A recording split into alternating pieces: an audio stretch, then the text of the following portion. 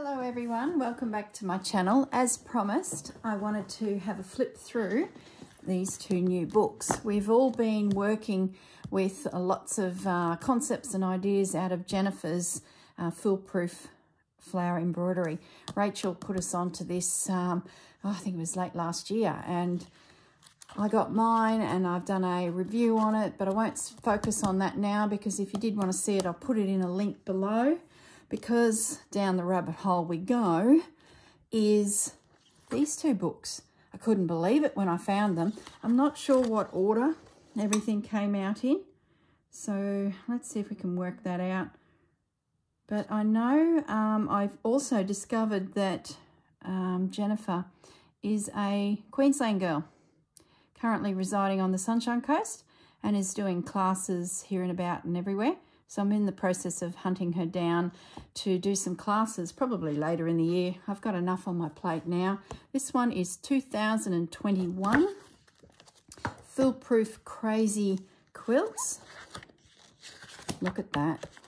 There was a lady posted an image of this that she was working on. She was doing her own version and it was stunning. I think it was on, it was either on a slow stitch Facebook group, just Slow Stitch, or I have a feeling it was um, on Susanna's, not Susanna, Sonya's site. But anyway, it popped up and I'm like, whoa, what is that? And then I just happened to have this come up, this book come up on my, um, you know, when 2013 is that one. All right you know, in uh, 2016. All right, so 2013, 2016, 2021. If there are other books, I'm yet to find them. If it's just the three, yay, I've found them. So let's have a little look. Let's go back to this one is the second one. Let's go to this one. Yeah, so this popped up and um, on my feed as a potential you might be interested in this. You know, when Facebook and the world is listening to what we're up to. I'm just going to zoom in and we'll just look at that one image. Look at that. Look at that. See this? Oh. Gee, this girl's clever. She's like created a, a base, a foundation to it. Up comes a plant then just some random framing of the piece. Beautiful. Okay. Imagine it now as a whole wall hanging. Oh my goodness. I'll zoom back up because we'll be here all day.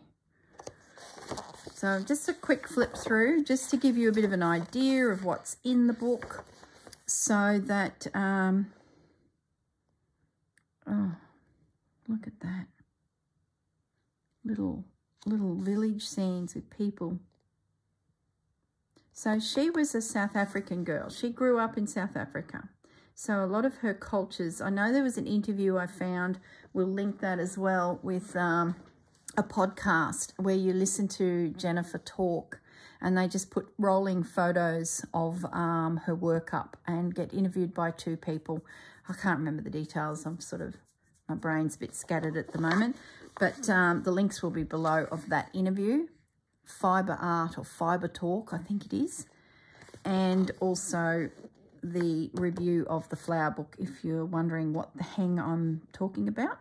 So here's some influences. Zulu beadwork heavily influences Jennifer's work. She mentioned that in that interview. Indian embroidery. Uh, and then Jennifer. Isn't it amazing that we can take you know, concepts and ideas and inspiration from very old cultures and it pops up now, today in our work. Stunning. Let me just bring that up to the camera, that beading. Look at that. Oh, wow. And look at the Indian embroidery. Wow. And then Jennifer. Talented girl. Talented girl. Okay, so she goes through the stages of doing it. This is great because Susanna from Vintage Blend Studios is giving us a prompt a month where we study an old technique of hand sewing or sewing. So English paper piecing and I believe crazy patchwork quilting yeah, is in it. So, and I was wondering how I go about doing all of this, getting that foundation. So awesome. That was the main reason I bought the book too. Not only was it a, a Jennifer. Oh, look at that. Mm -hmm. Isn't that just like a bowl of lollies? Just lollies. Lots of lollies. Her colours are so vibrant. Look at the spider coming out of the flowers. Oh my goodness me. Look at that. The spider's creeping out. So one of the patches could be a spider. I have to remember that for the Susanna project. That'd be a bit of fun. I better write that down. I'm never going to remember that. Let's see how you get inspiration to work a little animal into your piece. Like it doesn't have to be all floral. It could be the bees, the spiders, the butterflies worked into, oh, look at the layers. Like she's put a metal butterfly. I think I have that butterfly. Uh, I can't half tell she's an Aussie girl. We're all shopping in the same places. Look at that. Oh, bring it up to the camera. See the tiny little ribbon leaves? Whoa. Look at the little hearts with the sprays coming. Oh, goodness me. So she, in this book, okay, goes through, there's a bee. Look at the bee. Maybe I take something like this on my cruise. I was thinking Boro, but I could, no, I'm going to need to pack too much with this because you'd want to go looking for all the bits and pieces to do it. And I'll end up being stuck on a big cruise boat and pining over my craft room. And that's stress. That, that upsets me. so I probably shouldn't bother with this idea. Look at all the ribbons. She flips between beads, ribbons, threads. I'd have to take my craft room. Unless I pack a suitcase just with beads, ribbons and threads. My husband will shoot me. He'd be like, you're a lunatic. Look at that winding flower at the top. Oh my goodness. Hmm. Jennifer, it now makes sense how this came to be. Because this sort of slows us down and we study how to build a new form out of a floral. This is applying it to a masterpiece. Oh, look at those little stitches there. She's used a velvet blue ribbon. Let me bring it up. A velvet blue ribbon and then bullion stitches and beads to couch it all down. Oh my goodness. You're going to be sick of me saying, that's the one on the front cover. You're going to be sick of me saying, oh my goodness. Oh, look at that. Oh, bloomin' hang. That's, is that lace, a ribbon? Yep, ribbon. My ribbon I own is not that fine. I don't think I could pull that off. So what size ribbon is she using? 4 mil. Okay. I have very little 4 mil ribbon, so my guess is my ribbon's probably a bit thick to get that fine detail. So how big is a hexagon, I wonder? Oh, I'll be here all day. Just stay focused, Corrine. Yeah. Oh, look at the beads in a row. See, I've never thought to do that. See all the beads in a row there? Look at that. That's um, fuchsias. See, they have those petals and then little layer of petal and then little stamens. Let me bring it up to the camera. Fuchsias. How beautiful. Mm. It's the colours that she's doing. Look at that flower with the tiny little bullion knots. No, they're just straight stitches. They're not a bullion knot. So see how she curls back that embroidered ribbon? I've only done a little bit of embroidery with ribbon. It's never been on my radar frequently enough to be used regularly. So it's definitely something on my wish list. There's a butterfly made out of four stitches of the ribbon. Yeah, look at it, little green butterfly here. So it's sort of not, I'm not fluid in it. So this would be really fun. Oh, look at that. This would be really fun to explore lots of stitches. Little dragonfly. Now Sonya, um, now her channel, she's going through these types of projects, stitching different things onto crazy patchwork. So if you wanted to get on to someone who's actually doing this type of work, different style again, like everyone's got their own style, you could go to Sonya's channel. So I'm going to link Sonya and her channel. I'll link the interview with Jennifer and I'll link down below the review I did of this book, just in case you haven't, um, you know, seen that book. So let's get hopping here. I'm going to be here all day. Okay, so now we go into the stitches, which is always handy. A lot of them we know, but, you know, sometimes a different diagram just opens up, you know, herringbone stitch. You know, sometimes it's just a different way of them drawing it. Just makes it click in your mind. I do tend to just put into YouTube herringbone stitch and then watch a tutorial on it. I'm a bit of a visual learner. I'd probably click more with someone doing it and then it's in my memory than a book. But, you know, if you're somewhere where you can't get internet access and it's just all what's with you, the books like this are really good. At least, oh, look at that, creating a loop around a structure to do a flower. My goodness. Look at that ribbon work. Oh, oh boy. Beading. Oh, how you run your lines, your stitches through your beads. Yep. Clever, clever chook this girl is. Can't wait to meet her one day. There's the fuchsia. Aren't you sweet? Half the battle is knowing the layers and what stitch you do first to get where you need to get. Look, a butterfly made out of lazy daisy stitch. Like, of course, like that's not hard, but to see it done just reminds you. Oh, of course, I'm in the insect section. Webs and insects. So that is just very handy. And they're a good size for our pieces. Maybe I've got to do a few insects on some of the pieces. I know which piece needs that.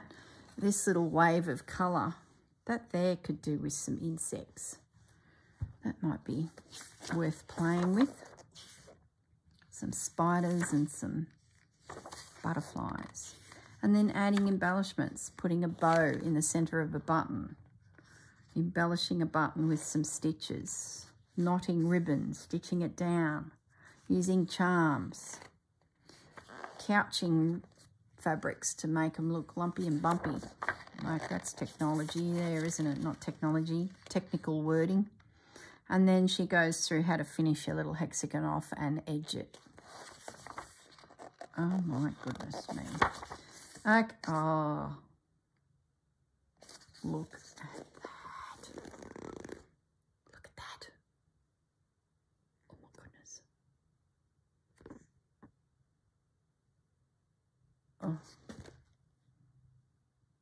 That's taken my breath away. Hmm. Wow. It really is free form, isn't it? And then applying it to things. Oh, boy, oh, boy. Oh, imagine little purses with it, you know?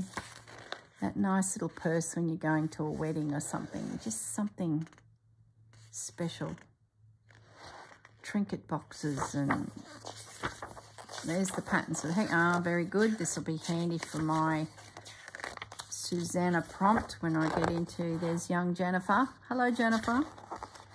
Congratulations, Jennifer. My goodness, look at that. That's a bigger photo of that. That just stopped me in my tracks. That's so me. Those colours. Oh, I love it when apple apple green pops in with pink. It just is beautiful. All right, enough of that. Let's get into this one. 10 projects. Full-size patterns. Oh, black as the background with the colours. Christine, I know you're watching. Christine has a channel where she's doing the down the garden path and her premise is her garden in the moonlight. So everything in the background is the blacks and then the moonlight is picking up on the colours of the embroidery. If you don't own this book already, Christine, I know what you're going to do. You're going to stop this video about now and she'll be off and she'll be getting this book. But she probably owns the book already. Beautiful. Oh my goodness. And black's not a colour that comes into my mind frequently for embroidery, but when Christine did it, I better link Christine's channel. All right, let's back to the spider. I need a piece of paper. I will put in, before I get ahead of myself, first thing was the interview with Jennifer. It's just verbals. You can't see anything as they talk to her phone link and interview.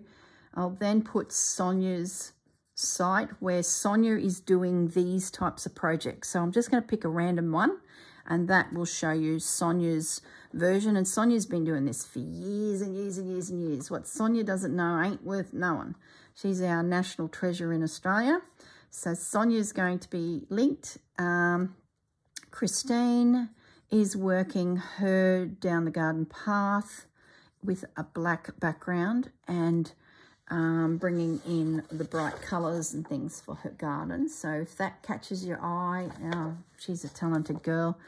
Um, now, who else did I mention? I'll have to rewatch this video to make sure I, I get everyone that I'm yibby yabbing. Oh, myself reviewing the book of embroidery stitches, that, that one that we're all chasing over the last month or so.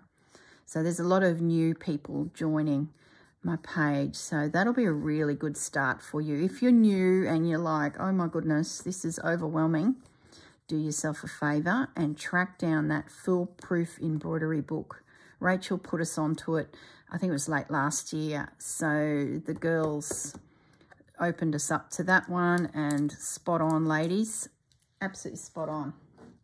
So this is more using these stitches in projects. Oh, look at that. Using a um, hair straightener to get the wrinkles out of your ribbons.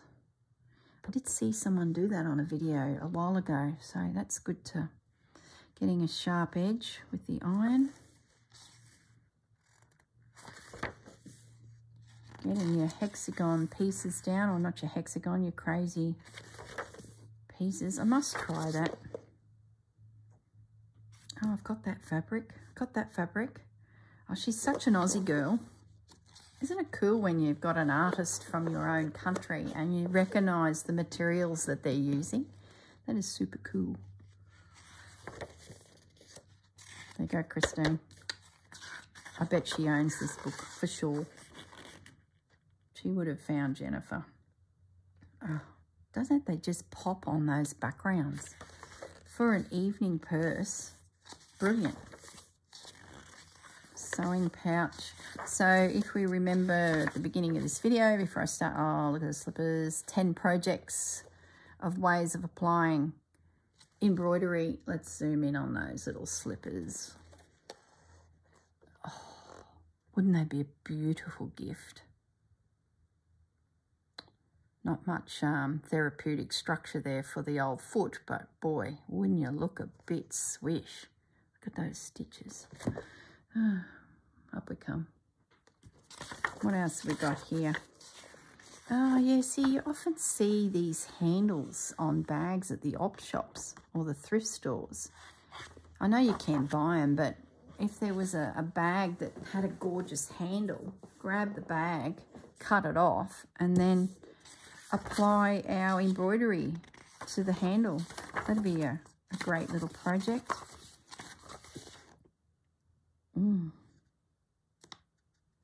Those colours, the burnt greens, the reds, brown spider. Oh, she's used a little heart bead for the body of the spider and then a, oh goodness, and a pearl for the head. Look at that. Mm. A tea cozy. See, things from our past are coming. Look at the wisteria. The things from our past are coming back. Look at the wisteria there. Hours of work. My goodness. Oh. Gee. So if you're looking to add a book to your collection, that I've seen that on a embroidered tablecloth. So how clever. She's used that as the one of the panels. That's a pre-embroidered tablecloth and then enhanced it from there. She's put that up there, that up there, a couple little buttons, that through there, some little bees, and then made it a made made made a case for your glasses. Yeah, there it is. That's it there. Mm.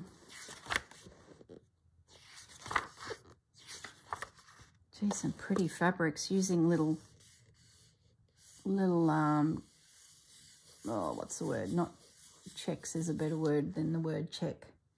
I don't know. My head's spinning here looking at all these lollies. Oh, look at that. Stacking buttons and beads to create a clasp. I presume that's what she's doing. Oh, it's the lid to the box. You pick that up in your fingers. Ah, you forget all these things, don't you? You just so... Look at the sewing basket. That reminds me of Easter. The yellow, the pink and the green. There's that spider again. We're going to have to try a spider. Not that I'm a fan of spiders, but I'm okay. I'm the one that usually rescues my husband, who is absolutely in fear of spiders. Even a little spider will get him squealing like a girl. I tell you. And these big huntsmen's come marching through the house. You should see him. You, you, it's, hilarious. I can't stop laughing personally. And then he gets angry that I'm laughing and I sort of let the spider do its thing for a minute or two before I rescue. And I wicked. It doesn't make sense. He's a big man. Like, what's what's wrong with that? I don't get it. Oh, look at that. Oh, my head hurts. I'm getting a headache just looking at this. How am I going to retain all these stitches? It's not the stitches, it's the combination of stitches. It's how you layer your stitches. Look at that, the bud and plume stitch.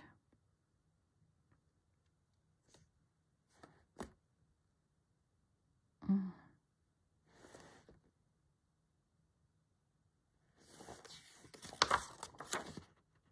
Oh my goodness, there he is. I have to stitch one for my husband. That's a bit naughty. See, once again, the combination, laying down your stem, then using a bead to create that joint that is often in plants. So there'll be a, a point of which that the leaves will come from. Like if you were to cut that plant in nature, that could be the point of which some uh, little roots would come out of it if you were um, doing some cutting, some propagating the little bead. It, it makes sense to have that because it's in nature, isn't it? Look at that, a tufted bud. Are you serious? Oh, look at the bow, look at the bow. Let's zoom in at the bow. Look at that. okay, let's have a good look at that. You got too much of me in there. We're getting too far away from the book. Time to finish this up. There's all the patterns at the back. Lovely, lovely. For all the projects, they look like they're in perforated so you can pull them out. Wow. Well, my head's spinning. I've got plenty of notes now of what I will attach in the bottom. All right, guys, you are watching this on Wednesday. So I just finished filming the video that you watched yesterday and I thought before I get sidetracked for my day, I have to have to put this in my iPad and you guys are watching this on Wednesday. So Thursday, I'll pick a project from our Journal of Stitchery down the garden path and um, I'll see you in that video. All right, guys, thank you very much for joining me and uh, have a lovely day stitching. And I bet some of you go shopping. Anyway, sorry about that. I'm enabling you again. All right, bye.